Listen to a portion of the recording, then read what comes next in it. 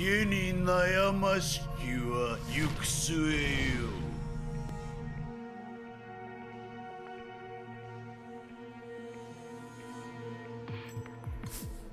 左近貴様また。あ？我の。大谷君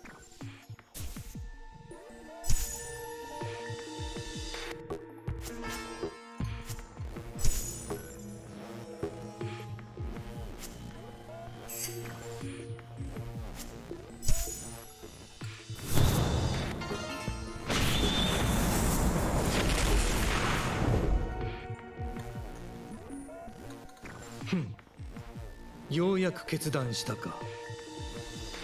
普段は愚者の始まりと知れ。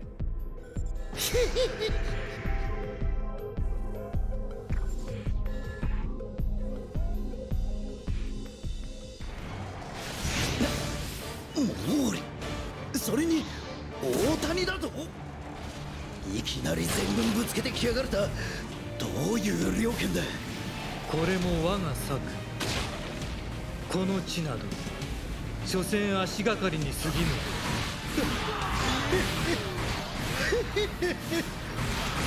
俺の右手は神聖なもの。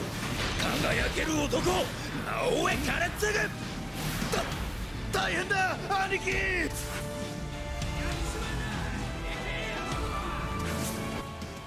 動力炉に敵が侵入した。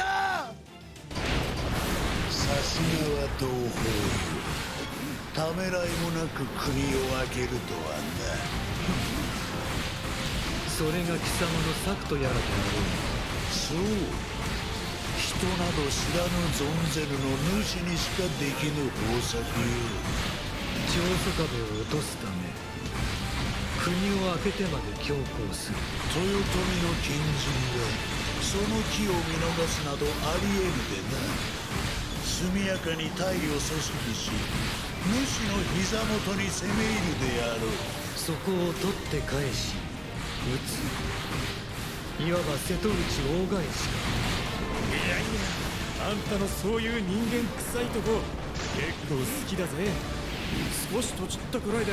誰もあんたを責めやしないさ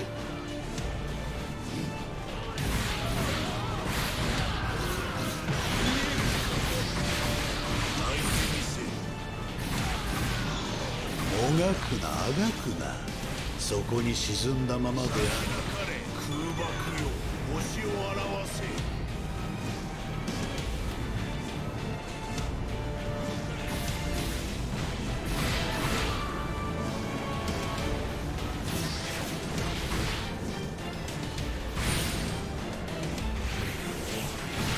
一人の夜。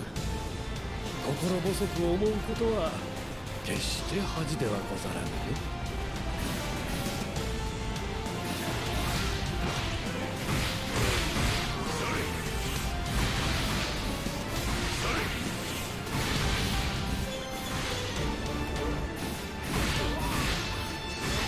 俺の方が年下だけどさ。兄貴って思ってくれてもいいんだぜ。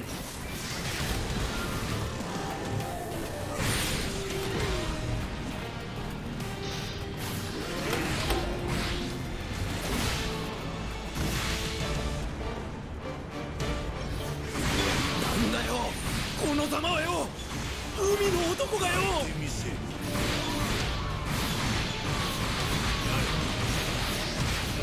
さちなかれ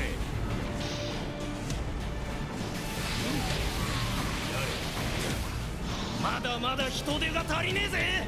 兄貴！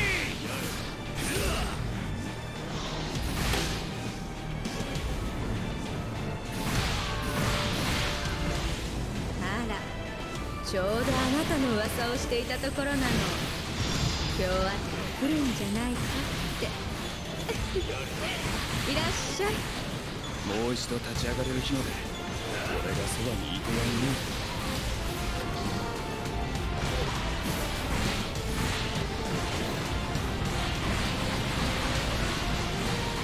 もっと適当にやれば意外となんとかなるもんでござるよ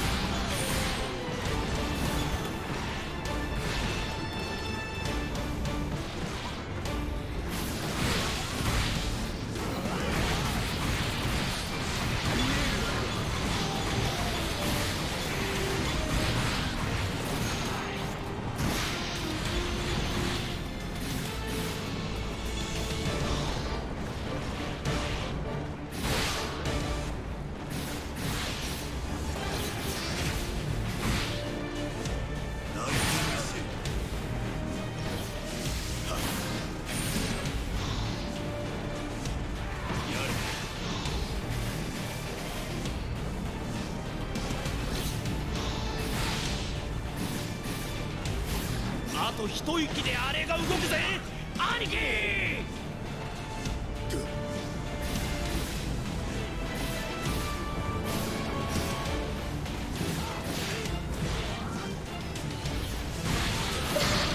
面目ねえ兄貴。今の人手じゃあれが十分に動かね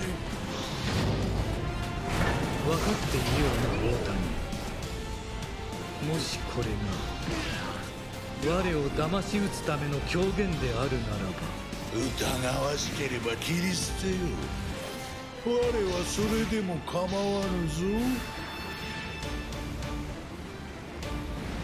たとえ忘れ去られよう。事実として俺は主人公。一つやけ食いと行こうぜ。俺も付き合うからよ。何おごってくれりゃそれでいいさ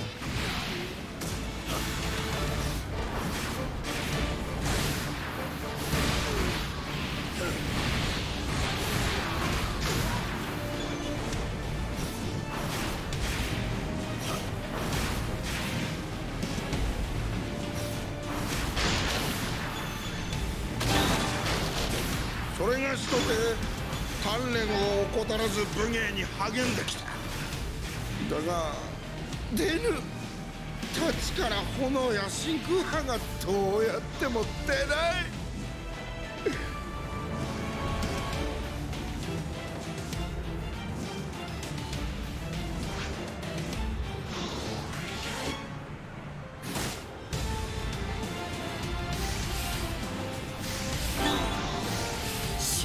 仲間を見捨てるな野郎ども俺たちは兄弟。いや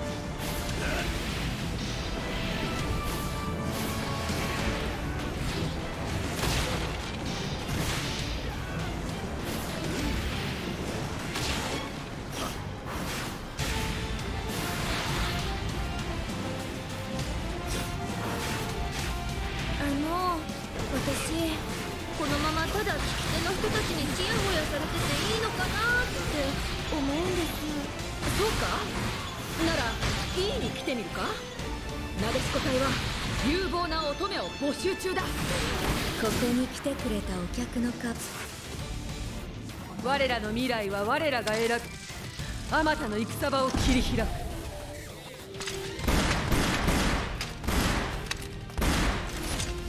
それが大化の生き様だ。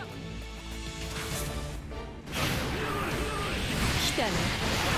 豊臣きっての食わせ者めどうせ。ただ国を捨てたわけではないのだね。はてさて見ての通りというほかないが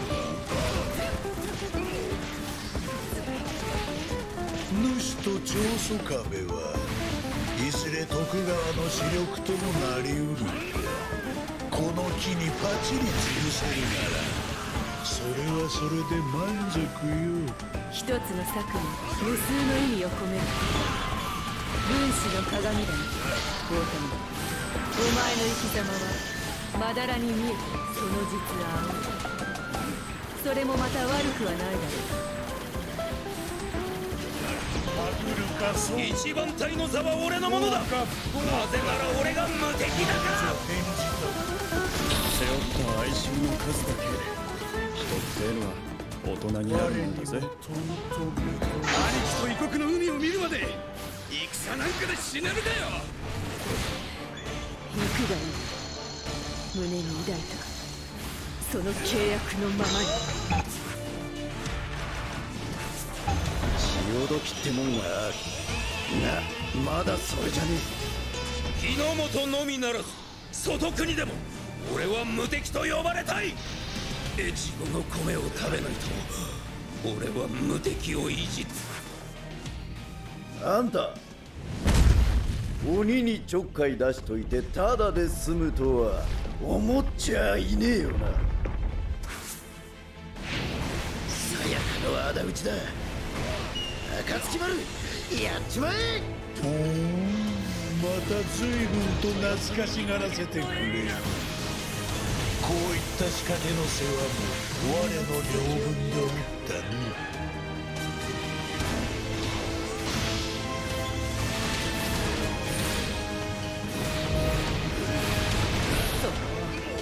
しせっかく誘ってやったのに断って。そんなに私が怖いか？直虎様じゃあるまいし。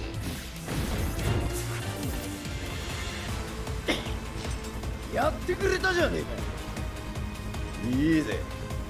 こいつを見て漏らしちまっても知らねえぞ。あっきやっしん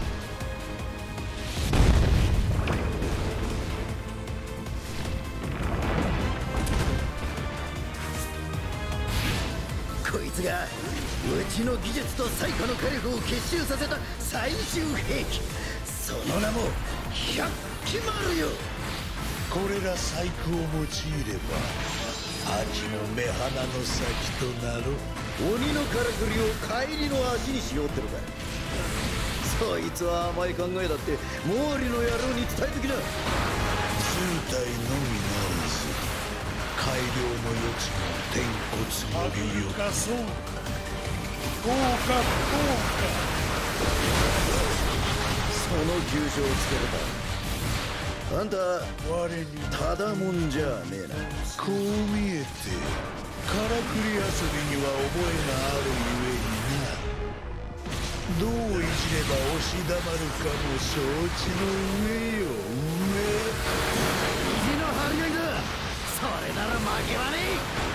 れ海賊よ作りが甘いぞ時さえあればこの手で組み直してやりたいほどよバカな俺よりからくりに詳しいんだと。壁にぶつかってこそ初めて見えるものもあんだろ響きと。ださ射撃誤差修正兄貴